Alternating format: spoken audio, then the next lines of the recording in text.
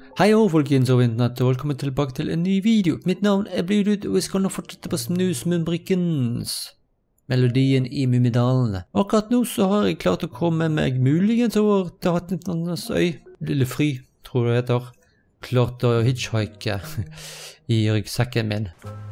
Satser vi er på rett plass da. Så vi kan finne veien fram her, og forhåpentlig skal vi også finne Mummitrollet. Mummitrollet! Hvor er du? Skatten, hvor er du? Må konsentrere deg, snusmumrikken. To hoder tenker vel bedre enn ett, vil jeg tro. Oh, er dette båten til uh, snusmumrikken, kanskje? Mummipappas båt. Seilet borte. Jeg får i årene opp etter at jeg har funnet mummitrollet. Merkelige prioriteringer, må jeg si. Jeg beholder skatten selv. Lykke til med å finne den dumrianen. Jeg klarer meg fint alene. Ja, men jeg er glad for å finne båten. Ja, det er jo flott. Båten mangler seil. Jeg blir nødt til å finne et hvis vi skal komme oss vekk fra øyen. Kanskje i fnattene har noe. Og muligens jeg finner også trommen her. Nye instrumenter som jeg ikke kan bruke. Men vi tror det må ha gått denne veien. Jeg ser noen spor. lille litt fri. Oh, dette i ansiktet fikk en underlig voldsom brudulje. Går rykte om at det ligger en kjøreskute her sted. Det vel det lille vi har. Hadde jeg bare visst hvordan man bruker en kikkert, da kunne jeg speilet til skatten. Jeg henter at jeg kan finne en kikkert, kanskje. Her er jo faktisk en kikkert. Når vi snakker om Oh! Kjøreskute. Og en hule der. Kanskje vi kan finne en annen inngang til den hulen, eller må jeg komme dit? Kjøreskute. Tenk om lille Mi har rett om skatten? Skuter er et vrak, men seilet ser ut til å være i orden. Kanskje vi kan bruke det på Mummin Pappas båt? Ja. Da må vi faktisk komme oss dit, da. Å, oh, der ser vi uh, hatt i fnattene. Jeg husker jeg ikke likte de altså, som barn. altså. Jeg syntes de var skumle. Ser ut som at det er en vei der, men er det? Eller jeg er blind, for jeg, altså, jeg kan ikke se han karen jeg er her. Um, kan jeg se kortet på stedet? Det kan jeg. Det hjelper meg ikke mye, du. Jeg får en liten oversikt over øyen. Og ser muligens en park her òg. Politi, portvakter Er det jo derfor Mummitrollet er her. Oh, hatt de natten her.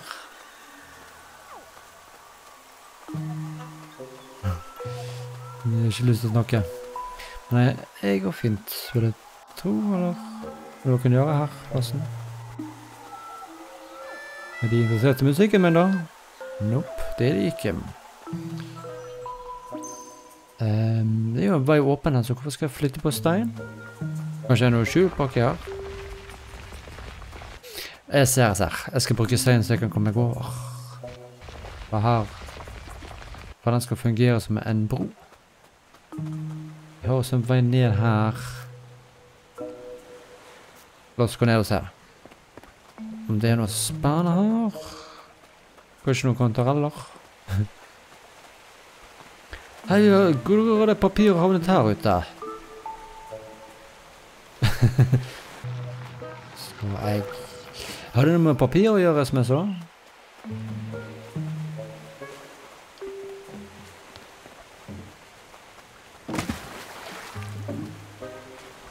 Ja, nydelig. Nå fikk jeg faktisk tak i det. Uh, litt sånn flere veier her, så jeg har lyst til å liker sånn lineære spill der eller bare trenger bare å gå én retning. Men det er jo litt sånn gøy til å utforske òg, da. Men av og til så kan det bli litt sånn OK, hvor er det jeg skal gå nå? Og Så man liksom gå Det fungerer litt som en labyrint av og til. Litt sånn vanskelig. Fotsporene leder denne veien. Så OK, da er iallfall um, denne veien her som fører til Mummitrollet. Så da går vi tilbake til det over den broen som er lagd med seil. Og sånn. Og sånn. Var litt inspirasjon i alle fall. Tror det bare ser det funker for å samle litt inspirasjon. For å sikkert komme nærmere nærmere level 6. Det er en vei over der, men slik jeg ser det skal det være en vei En annen vei over der. Men eh, kanskje jeg må få en til å sovne. Blupp. Det kan bli en pinne. Smart. Snart er skatten min. Lurer på om jeg skal bruke skatten til. Oh, Hvor går det med skattejakten? Hvordan går det med mangel på eventyrlyst?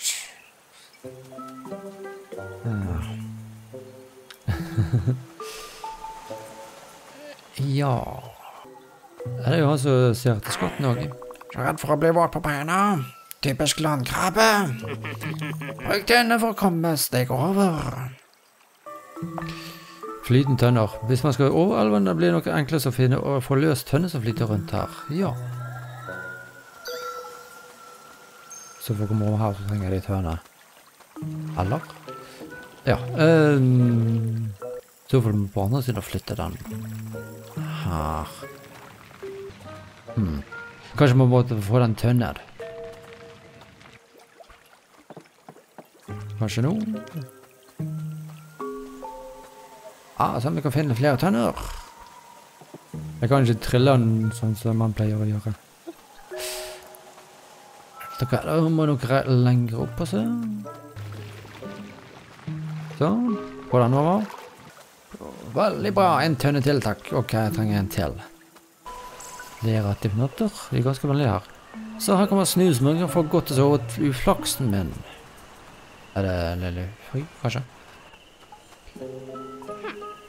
Jaha, omsider kommet for å hjelpe. Har du funnet katten? Jeg er så nær at jeg kan lukte den. Å, det var visst bare deg. Det var slemt sagt, da. Der. Her er denne tønnen. Og så får den ned. Sånn.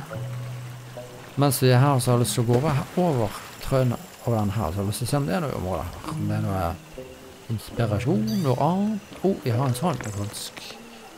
Kommer kanskje kjappere ned til Ja, dette var en garantert kjappere. Og et papirark. Mummipappas mesterverk. Har vi alle nå? Bra jobbet. Vær tålmodig noen år, så kan du sikkert bli en brukbar sjørøver. Nydelig, nydelig. Ah.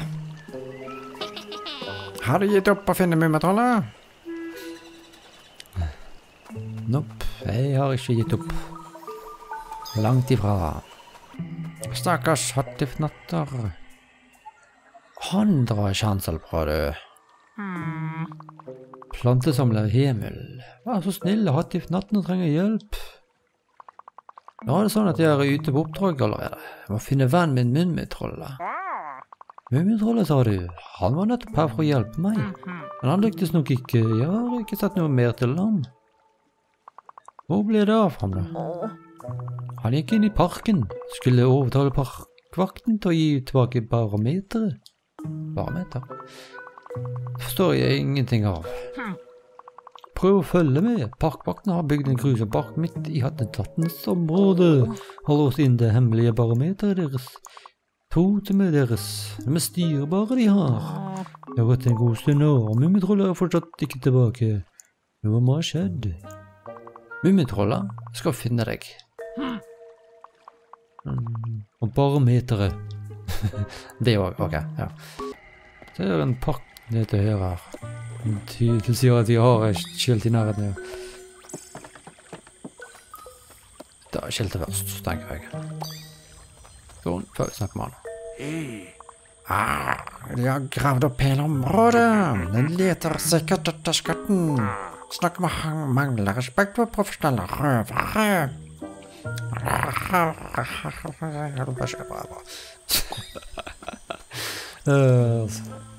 Stemmen hans forandrer seg litt overalt her. Jeg beklager for jeg er ikke flink til å bruke flere stemmer på en gang, for det kan bli litt uforvirrende. Mummitroll gikk inn her alene. Jeg håper ikke jeg kommer for sent. Hmm, jeg lurer på om flua liker musikk.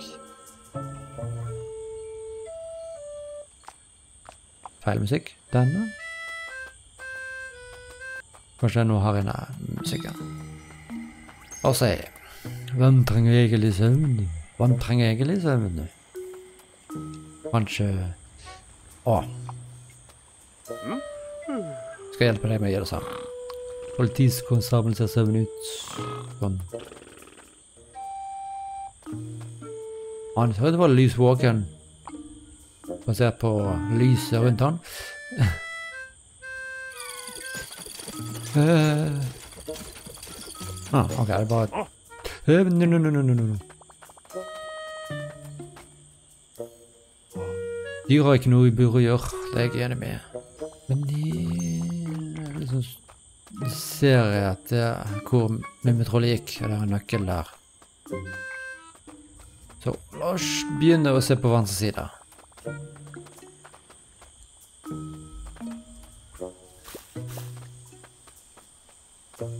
Eh, Sånn. Oh Hører Jeg før du La oss se. Sånn. Nydelig. De står så fint plassert til at jeg kan få alle til å sovne.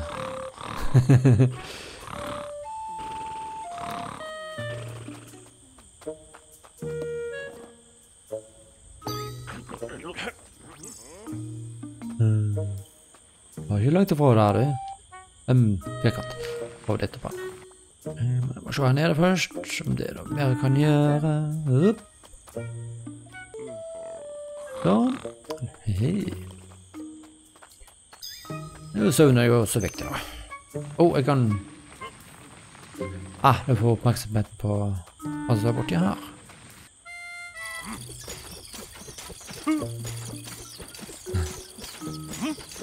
Hup, No, no, no, no, no, no, no, no, no. Nei. Lukk deg, kom ikke tilbake. Sånn. Så når han er og holder vakt med dem. Bruker de skilpadden til å komme i går. Flere skilt. Starsvekk. Og du statuer til òg? Nivå seks. Nylig. Skal jeg kanskje ha lest det. Å nei, er han der? Hallo, hvordan går det? Jeg sitter bomfast i et bur. Takk som spør. Akkurat som alle de andre dyrene her. Er noe jeg kan gjøre for å hjelpe til? Vel, å fjerne parken og sette meg fri ville vært en god start. Bare sett dem gjemme saker og ting under de ufyselige. Hva er noe viktig, tror jeg? Ja, se om jeg kan ordne det. Se, sjekk alle statuene her, Hva får de vekk. Gjør litt hærverk. Eh, burde ikke være greit, men i dette spillet er det lov til det. Jeg bare tok alle, jeg. det var nøkkel her, da. Vi fikk kanskje til selve inngangen til eh, der han uh, Mummitrollet gikk, tenker jeg. Jeg burde kanskje flytte på den her før jeg tok nøkkelen. Må jeg gå alle veien runden her, da. Nå. Jeg kan legge den fra meg. Ok, det, takk for lov for det. Bare hopper jeg opp og sånn tilbake. Går denne veien her. Og før vi går til uh, der porten der uh, Mummitrollet gikk, så tror jeg vi skal tenke vi skal bare avslutte episoden her. Sjekk stedet. Kanskje vi kan få snakke på Parkvakten òg. Yeah. Så hvis du er ny til kanalen, må du selvfølgelig abonnere. Om det er noe, så trykk på tommel opp. Støtt oss pris på oss, og inntil neste gang, folkens. Snakkes med deg. Hei ho. Yo, listen up, here's a story